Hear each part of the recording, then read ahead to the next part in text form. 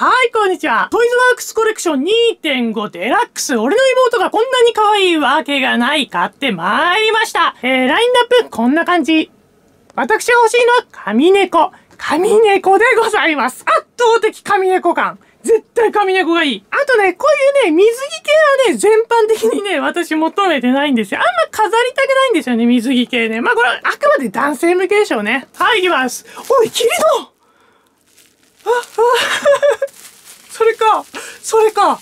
まあ、そうだよね。そうっぽいよ。はい。出たのは、綾瀬。しかも、きょうちゃんをね、いじいじするときの超病んでるほら、これ持ってるもん。きょうちゃんをね、あんなこんなするためのこれ持ってるんですよ。いやいやいや。ヤンデレ出ちゃった。かわいいな。でもこう見るとやっぱかわいい。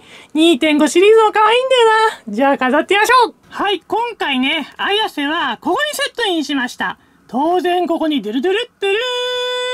まなみちゃんがいるからです。幼馴染。このまなみちゃん結構気に入ってるんですよね。ちょっとサイズがね、ちっちゃい。こう、まなみちゃんと一緒に置くには濃くな気もするけどね。やっぱここはオリイモはね、オリイモでね、くっつけておこうかなと思っておりますよ。いや、ヤンデレだわ。ヤンデレ臭がすごいする。はい、そんなわけで、トイズワークスコレクション2.5デラックスより、俺の妹がこんなに可愛いわけがない。あやせが出ましたという、そんな動画でした。いや、なかなか弾きたいものが弾けないもんですよ。バイバイ